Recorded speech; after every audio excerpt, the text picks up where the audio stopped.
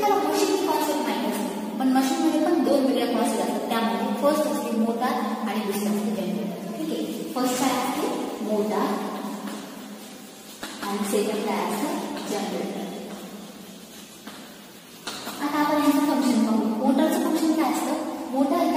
Electrical एनर्जीला mechanical energy काय करते? करते? मोटारचं कन्वर्ट टू